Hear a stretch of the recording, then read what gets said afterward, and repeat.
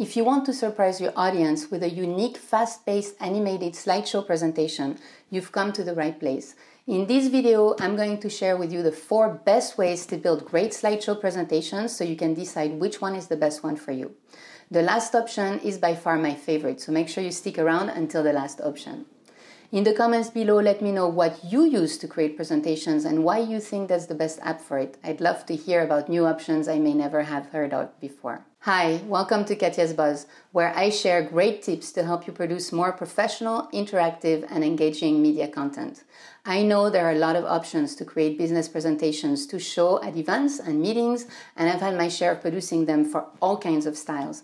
After using each method I'm about to present and looking at the details, at the pros and cons for each one of them, I can share with you what I think are the best to help you decide which one is for you.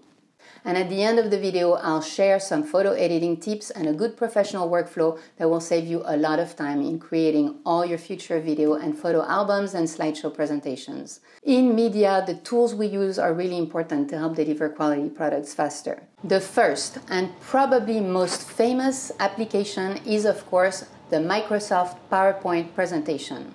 PowerPoint has had some incredible upgrades recently. You can use themes and templates, free graphics and photos. There is a huge catalog of amazing stock photography icons that are completely free, so take advantage of that. You can animate slides, animate text, create transitions, bring in videos. The app is easy to use. It has great features to help you manipulate images into automated designs with just a click in the designer pane. It can really enhance your ability to make fun and creative projects in no time. I use it quite a lot to create photo albums that I then upload into Facebook and Instagram. We've all seen our share of PowerPoint presentations, from the most boring to the most engaging. It's a best first choice for creating click through presentations with a mix of photos and text, some animation using a template that fits the needs of your particular project. The second method of creating a fabulous presentation is to use Canva. Canva is a wonderful tool to create all kinds of media, and if you're not familiar with it, spend some time looking at everything it has to offer. With Canva, you can search templates for presentations and just swap your photos and images, animate the slides, use some great templates that fit your particular project. The whole process is fun, fast, and can really help you create stunning results in no time. The third method is to use Premiere Pro or any other video editing app, upload your videos and images, text, use animation effects, and you could end up with a stunning presentation, mostly using videos. You will be able to download a lot of animations, text effects from Adobe Stock to add some quick touch. This will actually require you to spend a lot of time editing the work and it will give you a great result if you are a qualified video editor. The fourth method is to use Photopia. It's an application I discovered about a year ago and find myself using every occasion I get to create animated presentations for major events or simple photo video albums. It's a very different result than any of the other applications. It's quite fast because it has a wizard themes that starts the entire building process in a few seconds. So all you have to do is tweak your projects and share. I highly recommend the application. I have used it to prepare really engaging presentations for large dinner events and I've only heard great feedback. As promised, I'm going to end this video with a few tips and a good professional workflow that will save you a lot of time in creating all your future video and photo albums and slideshow presentations. First, presentations should never have a lot of text. Say what you have to say, but show it with pictures, graphics, animations, videos. Text should be minimal and said instead of read on screen.